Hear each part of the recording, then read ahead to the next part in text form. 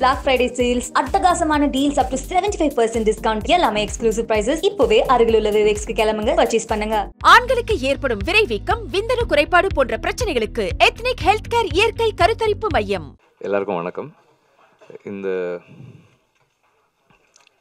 இந்த படத்தோட trailer and songs இது ஒரு ஒரு- ஒரு ஸ்ட்ராங்கான ஒரு ஃபில்மாக இருக்குது ரொம்ப உண்மைக்கு ரொம்ப நெருக்கமாக இருக்குது அண்டு இந்த இந்த மாதிரி கண்டென்ட்டை எடுக்கிறதுக்கு இதை இதை வந்து ஒரு சினிமாவாக சொல்லணும்னு நினைக்கிறதுக்கே ஒரு பெரிய தைரியம் வேணும். அதில் வந்து பணம் போடணுன்றதுக்கு இன்னும் பெரிய தைரியம் வேணும்.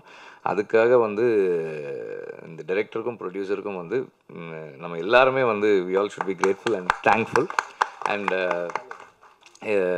சாதாரண விஷயம் இல்லை. இந்த மாதிரி ஒரு படத்தை எடுத்து அதை அடுத்து வெளியே எடுத்துகிட்டு வந்து சேர்க்குறது ரொம்ப சவாலானது. அண்டு இந்த ட்ரெய்லர் பார்க்கும்போது அவர் கிட்டுவோட முதல் படத்துலேருந்து இந்த படம் வந்து இன்னும் கொஞ்சம் அவர் தன்னை இம்ப்ரூவ் பண்ணிகிட்டு இருக்காரு அப்படின்னு தெரியுது. அந்த அந்த விதத்துலேயும் அவருக்கு வந்து பாராட்டு தெரிவிக்கணும். அண்டு நடிச்சிருக்கிற அத்தனை பேருமே வந்து அது அது என்னவாக இருந்தாலும் அந்த படத்தில் அந்த ட்ரெய்லரை பார்த்த வரைக்கும் ஒவ்வொருத்தரும் அந்தந்த கேரக்டர்ஸாகவே இருந்திருக்காங்க. எல்லாருக்கும் என்னுடைய வாழ்த்துக்கள். அண்டு கென் அண்ட் ஈஸ்வர் அவங்க ரெண்டு பேருக்கும் என்னுடைய my my wishes to both of them background score இந்த ட்ரெய்லரில் பார்க்கும்போது நல்ல இம்பேக்ட்ஃபுல்லாக இருந்தது. படமும் படத்தில் இருக்கிற டெக்னீஷியன்ஸ் அண்ட் ஆக்டர்ஸ் எல்லாருமே அவங்களோட பெஸ்ட்டை கொடுத்துருக்காங்கன்னு நம்புகிறேன் இந்த படம் ஒரு நல்ல படமாக வந்து சேரும்ன்ற நம்பிக்கை எனக்கு இருக்குது ஆல் தி பெஸ்ட் தேங்க்யூ எல்லாருக்கும் வணக்கம். சல்லியர்கள் படத்துக்கு முன்னாடி நான் ஃபஸ்ட்டு என் ஃப்ரெண்டு ஈஸ்வரை பற்றி பேசினோம். இந்த படத்தோடைய முக்கியமான மியூசிக் டைரக்டர் வந்து ஈஸ்வர் தான். நான் ஈஸ்வருக்கு ஒரு ஃப்ரெண்டாக கூட வந்து சப்போர்ட் பண்ணியிருக்கேன். ஏன்னா இந்த படம் பண்ணுறோன்றதே எங்களுக்கு இனிஷியலி தெரியாது. ஃபஸ்ட்டு நான் டேரக்டருக்கு தேங்க் பண்ணிக்கிறேன். அதுக்கப்புறம் ப்ரொடியூசர் சாருக்கும் நான் நன்றியை தெரிவிச்சுக்கிறேன். ஆப்பர் ஆப்பர்ச்சுனிட்டி கொடுத்ததுக்கு. சல்லியர்கள் படம் வந்து எங்களுக்கு ரொம்ப ரொம்ப கஷ்டமாக இருந்துச்சு இனிஷியலி ஏன்னா என்னன்னே புரியல எங்களுக்கு ஃபஸ்ட்டு அது எங்கள் மேலே இருக்கிற தப்பா இல்லை எங்கள் ஜென்ரேஷனுக்கே இதை பற்றி தெரியாதான்னு தெரியல. ஒரு நார்மல் லவ் சாங் ஒரு நார்மல் கமர்ஷியல் டான்ஸ் சாங் பண்ணிடலாம். ஏன்னா வாடாராசா சாங் வந்து நாங்கள் அப்படி தான் பண்ணோம். பண்ணி முடிச்சுட்டு அந்த நம்பிக்கையில் எங்களுக்கு இந்த படத்தை சல்லியர்களை கொடுத்துட்டாங்க. ஒன்றுமே புரியல. ஃபஸ்ட்டு இனிஷியலி கிட்டோன பேசுகிறதும் புரியல. அவர் இதை பற்றி சொல்கிறதும் புரியல. நம்ம இ- இந்த படத்துடைய விஷுவல்ஸ்லாம் பார்த்து எதுவுமே எங்களுக்கு புரியாதனால ஒரு நாள் காமிச்சாங்க. கிட்டோனை வந்து படத்துடைய விஷுவல்ஸ் காமிச்சதுக்கப்புறம் இதை அண்டர்ஸ்டாண்ட் பண்ணிக்கிறதுக்கே எங்களுக்கு ஒரு மாதம் ஆயிடுச்சு. ரீ ரெக்கார்டிங் ஆக்சுவலாக இன்றைக்கி வரைக்கும் போயிட்டுருக்கு இதை அண்டர்ஸ்டாண்ட் பண்ணி இன்னொரு ரொம்ப கஷ்டமான விஷயம் என்னென்னா எனக்கு தூய தமிழ் ஆக்சுவலாக வாயில் ரொம்ப கஷ்டமாக தான் வரும். வைரமுத்தையா லிரிக்ஸை அண்ணன் எடுத்துகிட்டு வந்து கொடுத்தாரு. மலரே மலரே உன் ஜென்மம் தந்த மண்ணை என்றும் மறவாதே அப்படின்னு அண்ணன் வந்து போல்டாக வேறு சொல்கிறாரு அண்ணன் இதுக்கு என்னென்ன நான் டியூன் பண்ணுறது எனக்கு எதுவுமே புரியலடான்னு ரொம்ப ஃபஸ்ட்டு இனிஷியலி ரொம்ப கஷ்டமாயிடுச்சு. அதுக்கப்புறம் எங்களுக்கு இப்படி ஒரு ஆப்பர்ச்சுனிட்டி வைரமுத்து சார் லிரிக்ஸில் எங்களுக்கு கம்போஸ் பண்ணுற ஆப்பர்ச்சுனிட்டி கொடுத்த இவங்க ரெண்டு பேருக்கும் நான் ரொம்ப தேங்க் பண்ணிக்கிறேன். அண்ட் எங்களுக்கு இதில் வந்து ஒரு பெரிய பேக் போனாக இருந்தது எங்களுடைய ப்ரோக்ராமர்ஸ் நான் அவங்களுக்கு இந்த ஸ்டேஜில் நான் தேங்க் பண்ணணும். செபாஸ்டியன் டான் கிறிஸ்டின் அதுக்கப்புறம் சாஜித் என்னுடைய எங்களுக்கு மிக்சிங் பண்ண கைலாஷ் மாஸ்டரிங் பண்ண ஆகாஷ் ஏன்னா இவங்கெல்லாம் இது ரொம்ப ரொம்ப பட்ஜெட் ஃபிலிம் ஸோ இந்த படத்துக்கு அவங்க யூஸ்வலாக வாங்குற அமௌண்ட்டை விட கம்மியாக தான் நாங்கள் ரொம்ப ஆக்சுவலாக இந்த படம் வந்து மியூசிக்குன்னு கிடையாது.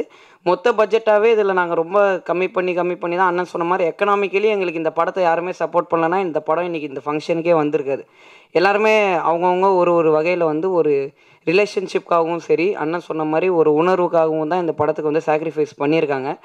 ஸோ அந்த விஷயத்தில் வந்து அவங்க எல்லாருக்கும் நான் வந்து ரொம்ப தேங்க் பண்ணிக்கிறேன். அண்டு கிட்டு கூட வேலை செய்கிறது ரொம்ப கஷ்டம். இதை யாருமே இங்கே சொல்ல மாட்டாங்க. ரொம்ப ரொம்ப கஷ்டம். அதை வந்து டப்பு டப்புன்னு அவர் பேசி எல்லாரையும் ஆஃப் பண்ணி அமுச்சு விட்றாரு நான் அதை பேசியே ஆவாங்க. ரொம்ப கஷ்டம். இவர் கூட வேலை செய்கிறது ஏன்னா கிட்டு ஒன்னனே ஒரு மியூசிக் டைரக்டர் கிட்டு ஒன்னனே ஒரு எடிட்டர் எல்லாருமே அவருக்குள்ளே இருக்கிறனால அவரை கன்வின்ஸ் பண்ணுறது நம்மளுக்கு ரொம்ப கஷ்டம். ஒரு டியூன் எடுத்துகிட்டு வந்து ஃபஸ்ட்டு காமிச்சதுக்கப்புறம் நல்லா இருக்கு தம்பி. ஆனால் ஒரு குறை. இப்படின்னு சொல்லி ஒரு ஏழு வாட்டி சொல்லுவார். ஒரு டைம் மேலே நான் ஈஸ்வர்கிட்ட சொல்லிட்டேன். நான் போவேன். எல்லாத்தையும் கேட்பாரு திருப்பி எட்டாவது வாட்டி அது குறைன்னுவாரு. நீயே போயிட்டு வந்துடு அப்படின்னா ஈஸ்வர் வந்து எனக்கு பயங்கர சர்ப்ரைஸோடு வரான். கிட்டோட ஓகே பட்டார் டியூட அப்படின்னு வரான். அந்த மாதிரி இவரை ரொம்ப ஈஸியாக சாட்டிஸ்ஃபை பண்ண முடியாது. நிறைய சிங்கர்ஸ்லேருந்து நிறைய பேர் மாற்றி மாற்றி மாற்றி இந்த படத்தில் வந்து நாங்கள் ரொம்ப ஏன்னா இவர் ஒரு வாய்ஸ் கேட்குறாரு அந்த வாய்ஸை தேடுறதுக்கே நம்மளுக்கு ஒரு ரிசர்ச் பண்ண வேண்டியதாக இருக்குது ஏன்னா இவர் கேட்குற வாய்ஸ் வந்து நம்மளுக்கு ரொம்ப பெக்யூலியரான வாய்ஸாகவும் இருக்கணும். அட் த சேம் டைம் வந்து அவங்களுக்கு வந்து இந்த தமிழும் உட்கார மாட்டேங்குது. இவர் கேட்குற வாய்ஸில் அவங்களுக்கு கரெக்டாக அவங்க ப்ரொன ப்ரொனவுன்ஸ் வேறு. அதெல்லாம் நான் சொல்லி ஆகணும். இது யாரும் சொல்ல மாட்டாங்க. வந்து உக்காந்துட்டார் மலரே சாங்கில் மண் அது மண்ணை என்றும் மறவாதே. தம்பி மறவாதே வர மாட்டேங்குது நான் ஓகே பண்ண மாட்டேன். நாலு மணி நேரம் போகுது. நானும் ரெக்கார்டிங் போதும் அண்ணே அந்த பொண்ணுக்கு வரலண்ணே விட்டுருக்கேனன்றேன் வரணும் தமிழ் அப்படின்றாரு. எனக்கு அண்ணா அதுக்கப்புறம் ஒரு டைமுக்கு மேலாம் கிட்ட அண்ணன் வந்து ரெக்கார்டிங் போகும்போது கிட்டத்தட்ட போலீஸ் கிட்ட இருந்து திருடம் தப்பிக்கிற மாதிரி நாங்கள் தப்பி சப்தி போயிட்டு ரெக்கார்டிங் பண்ணிட்டு ஆனால் சாங் ஓவரும் என்ன தம்பி ஒரு இயக்குனரை கூப்பிடாம இப்படி நீங்கள் வந்து ரெக்கார்டிங் பண்ணது தவிர தம்பி இப்படிறாரு இல்லைண்ணா நீங்கள் ஓகே பண்ண மாட்டீங்க. அதனால் கஷ்டப்பட்டு நாங்களே பண்ணோன்னு சொன்னோம். பட் ரொம்ப தேங்க்ஸ்ண்ணே எங்களை நம்பி ஃபஸ்ட்டு படத்துக்கே எங்களுக்கு இப்படி ஒரு ஆப்பர்ச்சுனிட்டி கொடுத்ததுக்கு ரொம்ப தேங்க்ஸ் என் ஃப்ரெண்டு அதுவும் ஸ்டேஜில் வந்திருக்க எல்லாருமே பெரிய பெரிய ஆளுங்க. எல்லாருக்கும் தேங்க்ஸ் சீன ரமசாமி சார் எல்லாருக்குமே ரொம்ப தேங்க்ஸ் அண்ணன் கூட திருமுருகன் காந்தி அண்ணன் கூட எங்கள் அம்மா கிட்ட என்னை பற்றி ரொம்ப பெருமையாக பேசினாங்கன்னு எங்கள் அம்மா முந்தா நேற்று தான் சொன்னாங்க. அதனால் எல்லாருக்கும் தேங்க்ஸ் சத்யாதேவி ரொம்ப சூப்பராக நடிச்சிருந்தாங்க. இப்போ ஃபஸ்ட்டு படம் பார்த்தோன்னே நான் பயங்கரமாக நடிச்சிருக்காங்கண்ணே இவங்க? அப்படின்னு சொல்லிட்டு சொன்னேன். அதுக்கப்புறம் பார்த்தா சத்யாதேவி கிட்டேருந்து எனக்கு ரொம்ப நாள் முன்னாடி ஒரு மெசேஜ் வந்திருக்கு. அது எனக்கு தெரியாது. கருப்பச்சி அப்படி க க கருவாச்சி தமிழச்சின்னு ஒரு அக்கௌண்ட்லேருந்து அவங்க மெசேஜ் அனுப்பிச்சிருக்காங்க. இவர் பேர் சத்யா தேவியாச்சே கருவாச்சி தமிழச்சியில் இவங்க ஃபோட்டோ போட்டு நான் விட்ட சொல்கிறேன் என்ன அந்த பொண்ணு மேலே ஃபேக் ஐடிலாம் கிரியேட் பண்ணியிருக்காங்க? யாரோ தப்பாக அந்த பொண்ணை இது பண்ணுறாங்கன்னா பார்த்தா அவங்க தான் அந்த மெசேஜ் அதை நான் கேட்கணும்னு நினச்சேன். ராம்நாத் சார் அதுக்கப்புறம் தாமப்பா இவங்க எல்லாருக்குமே நன்றி. இந்த மேடையில் நான் வந்த எல்லாருக்குமே நன்றி தெரிவிச்சுக்குவேன். வெற்றிமாறன் சார் அண்ட் உங்கள் எல்லாருக்குமே ரொம்ப தேங்க்ஸ் சார் அண்ணன் அண்ணன் வில்லன் ரோலில் பண்ணி படம் பார்த்து அண்ணன் வந்து வில்லன் படம் ஃபஸ்ட்டு ஒரு ரீ ரெக்கார்டிங்கோட காமிச்சக்கப்புறம் கதறி கதறி அழுகுறாரு உட்காந்துட்டு படம் பார்த்து என்ன இப்படி ஒரு படம் அப்படின்ட்டார். ஃபுல்லாக உட்காந்து திட்டுவண்ண என்னப்பா தம்பி இப்படி அழுதுட்டாரு? நான் வேறு ஏதாவது உணர்வாக பேசுவார்னு பார்த்தா நாங்கள் அண்ட் அசிஸ்டன்ட் டைரக்டர்ஸ் இவங்க எல்லாரோடைய ஜாப் ரொம்ப கஷ்டம். ஏன்னா டே அண்ட் நைட் ஒர்க் பண்ணுவாங்க. ஆமாம் day and night assistant directors எல்லாம் ஒர்க் பண்ணுவாங்க. நான் பார்த்துருக்கேன். இந்த படத்தில் எல்லாருமே ரொம்ப எஃபர்ட் எடுத்திருக்காங்க. ஏன்னா இது டுவெண்ட்டி த்ரீ டேஸ் அண்ணன் சொன்ன மாதிரி சிபி அண்ணன் சிபி அண்ணனுக்கும் நான் கங்க்ராட்ஸ் பண்ணிக்கிறேன். ஏன்னா ரொம்ப மினிமல் பட்ஜெட்டில் ஒரு படம் இப்போ பண்ணுறதுன்றது ஏன்னா எங்கள் அப்பாகிட்ட நான் கேட்ட ஃபஸ்ட் விஷயம் தான் இந்தியன் சினிமாவில் படம் பண்ணுறீங்க சரி பட் எப்படி பண்ணுவீங்க? அவர் சொ- ஒரு பட்ஜெட் சொல்கிறாரு அந்த பட்ஜெட்குள்ளே இந்த படத்தை முடிக்க முடியுமா? அப்படின்னா அவர் சொன்னது முடிக்க முடியும் கிட்டும் நினச்சா முடிக்க முடியும். ஏன்னா அவர் ஆல்ரெடி பண்ணியிருக்காரு. மேதகு படம் வந்து நானும் ஈஸ்வரும் கிட்டோன கிட்ட அப்ரோச் பண்ணக்கப்புறம் தான் பார்த்தோம். பார்த்ததுக்கப்புறம் இந்த பட்ஜெட்குள்ளே இப்படி ஒரு படம் பண்ண முடியுமான்னு யோசிச்சப்போ ஓகே இவர் பண்ணிடுவார் பட்ஜெட்குள்ளே பண்ணிடுவாருன்ற கான்ஃபிடன்ஸ் ஃபஸ்ட்டு இந்தியன் சினிவே இந்த டீமுக்கு வந்துச்சு. அதுக்கப்புறம் வந்து அவர் ஒன்று ஒன்றுத்துலேயும் எடுத்துக்கிட்ட விதம் அந்த சிஜிலேருந்து எல்லாமே இவங்க வந்து இந்த பட்ஜெட்குள்ளே பண்ணாங்களான்றது வந்து இந்த படத்தில் ஒரே பெருமையான விஷயம் இந்த பட்ஜெட்குள்ளே இந்த படம் பண்ணி முடிச்சிட்டாங்கன்றதுல நாங்கள் ரொம்ப ரொம்ப ஹாப்பியாக இருக்கோம். அது உண்மையிலே எங்களுக்கு ரொம்ப ப்ரௌடான ஒரு விஷயம். இந்த விழாவில் கலந்துக்கிட்ட உங்கள் அனைவருக்கும் குறிப்பாக சிறப்பு விருந்தினர்கள் அனைவருக்கும் இல்லை இல்லை அவங்க தான் பேசணும். அவங்கள நான் கூ கூப்பிட்றதுக்காக தான் முன்னாடி ஏன்னா அதுக்கப்புறம் எல்லாம் கிளம்பணும்ல. பசியில் வேறு இருக்கீங்க. ரொம்ப லேட்டாக ஆரம்பிச்சிட்டோம். ஆக்சுவலி இன்றைக்கி ரெண்டு நிகழ்ச்சி மூணு நிகழ்ச்சி இருந்ததாக சொல்லி தான் நம்ம ஏர்லி மார்னிங் நம்ம ப்ரெஸ் கிளப்பில் பேசி இதுக்கு ஏற்பாடு பண்ணோம்.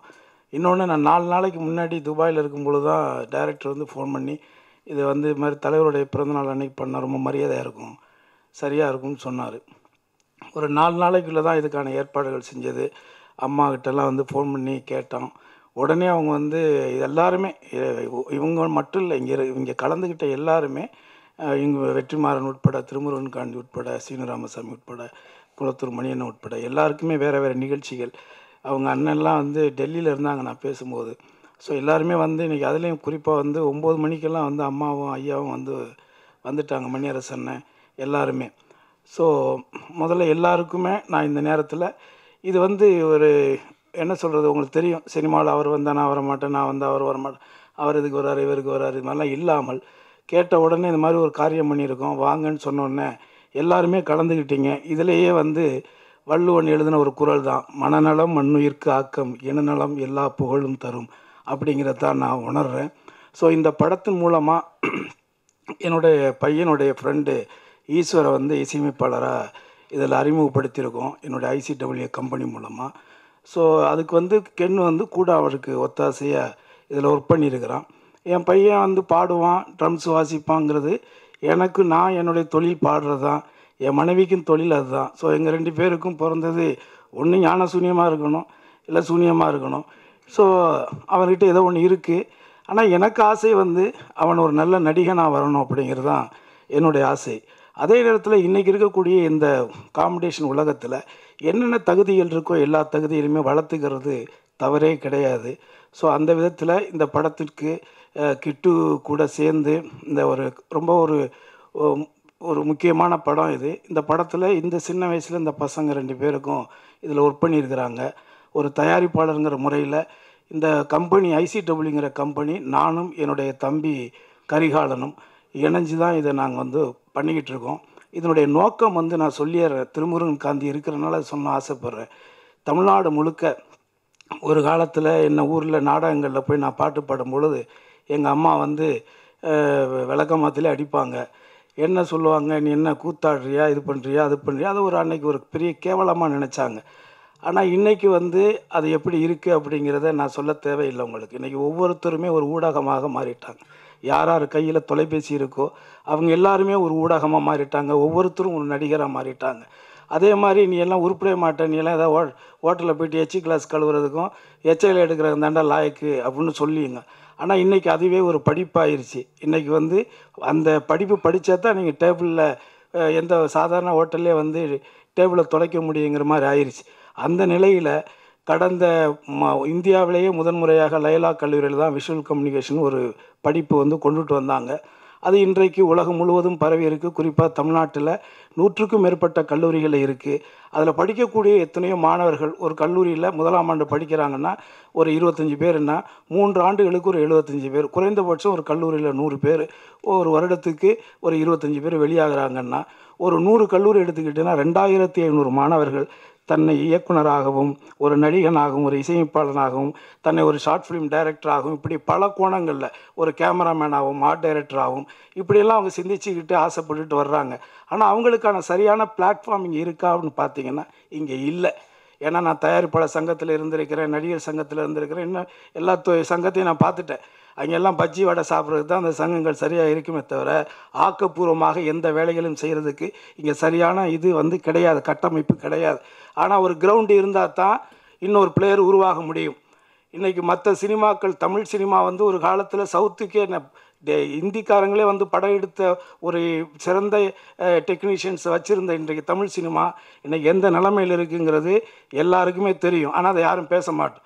ஆக இங்கே கிரவுண்டே இல்லாமல் இருக்குது அப்போது இந்த படிச்சுட்டு வர்ற இந்த மாணவர்களுக்கு நாம் என்ன செஞ்சுட்டு போக போகிறோம் அதற்காக உருவாக்கப்பட்டது தான் இந்த ஐசிடபிள்யூ இந்தியன் சினிவே இதன் மூலமாக யார் யாருக்கு என்னென்ன ஆசைகள் இருக்கோ அவங்க எல்லாமே அவங்களுக்குள்ளே இணைச்சிக்கிட்டு இன்னும் சொல்லப்போனால் எனக்கு எப்போதுமே ஒன்று ஒன்று உண்டு.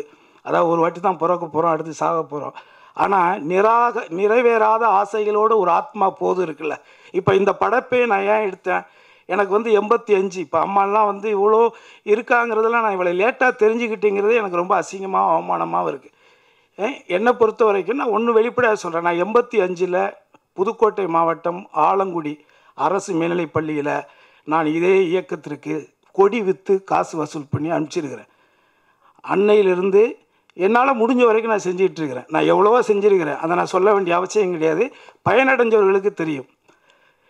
இதே தமிழ்நாட்டில் நான் நடிகனாக ரெண்டாயிரத்தி ஒன்றில் வந்தேன். வந்ததுலேருந்து என்னுடைய ரெண்டாயிரத்தி ஒம்பது வரைக்கும் நான் மார்க்கெட் நல்லா இருந்துச்சு. அதுக்கப்புறம் என் மார்க்கெட் எப்படி இருந்துச்சுன்னு உங்களுக்கே தெரியும். நான் சொல்ல வேண்டிய அவசியம் இல்லை. ஆனால் அந்த ஒம்பது வருஷத்தில் என்னுடைய சொந்த பணம் நான் நடித்து சம்பாரித்த பணத்தில் நூற்றி ஐம்பத்தி மூணு இலங்கை அகதி மாணவர்களை நான் பட்டதாரிகளாக உருவாக்குனவன். இதை நான் சொல்ல முடியும். ஏன்னா இது எங்கிட்ட ரெக்கார்டாக இருக்குது இன்னைக்கு படித்தவன்லாம் உலகம் முழுக்க இருக்கான். கடந்த பத்து நாள் நான் துபாயில் இருந்ததை அந்த பத்து நாள் செலவை எனக்கு ஏற்றுக்கிட்டவன் நான் படிக்க வைத்த கனடாவில் இருக்கக்கூடிய ஜெயராஜுங்கிற மாணவன் தாங்கிறத இந்த நேரத்தில் நான் உங்கள்கிட்ட சொல்லிக்கிறேன். ஆகவே இந்த ஐசிடபிள்யூங்கிற பிளாட்ஃபார்ம் வந்து சினிமா ஆசைகளோட கனவுகளோட வரக்கூடிய என்ன மாதிரி கிராமங்கள்லேருந்து வரக்கூடியவனுக்கு ஒரு படிக்கட்டாக இருக்கணும் அப்படிங்கிற எண்ணத்தில் தான் இதை வந்து நாங்கள் உருவாக்கியிருக்கிறோம். இதற்கான வேலைகளை கிட்டு கிட்டு கூட இருக்கிறவங்க அடுத்து என் பையன் என் பையனோட ஃப்ரெண்ட்ஸு அப்துல் கிஷோர் இவங்க எல்லாருமே நிறையா பேர் இதுக்குள்ள ஒரு டீமாக எல்லாமே யங்ஸ்டர்ஸ் இது என்னுடைய விஷன் இது என்னுடைய ஐடியா இதை உருவாக்கி அடுத்த தலைமுறைகிட்ட நான் கொடுத்துட்டேன். இதற்கான காசை நான் பத்து பேர்கிட்ட பிச்சை எடுத்து கூட கொண்டாந்து போடுவேன். எத்னிக் ஹெல்த் கேர் இயற்கை கருத்தரிப்பு மையம். அதான் கட்டா குஸ்திங்கிறது பியூர் ஸ்போர்ட்ஸ் ஃபிலிம் கிடையாது. ஒரு ஸ்போர்ட்ஸ் ஃபேமிலி ட்ராமா ஃபேமிலின்னா நான் சொல்கிறது வந்து ஹஸ்பண்ட் அண்ட் ஒய்ஃப் போல நடக்கிற ஒரு குஸ்தி போட்டி தான் இந்த படம். கல்யாணம் ஆயிட்டா புருஷனோட குஸ்தி போட்டு தான் ஆகணும். எனக்கு தமிழ் சினிமாவில் ஓப்பனாக சொல்லுவோம். ஒருத்தர் வந்து தொடர்ந்து சப்போர்ட் பண்ணியிருக்காருன்னா அது உதயநிதி அண்ணன் தான். என்னோட எல்லா படமும் ரெட்ஜென்ட் ரிலீஸ் தான். அதில் வந்து டவுட்டே கிடையாது. அப்போ நான் ரொம்ப கஷ்டப்பட்டுட்டு இருந்தேன். என்னோட ரெண்டாவது மூணாவது படம் வந்து ஃப்ளாப்பு நான் இன்னொரு தப்பு பண்ணியிருந்தேன்னா நான் காணாமல் போயிருப்பேன். அப்போ கொண்டு போய் அவர்கிட்ட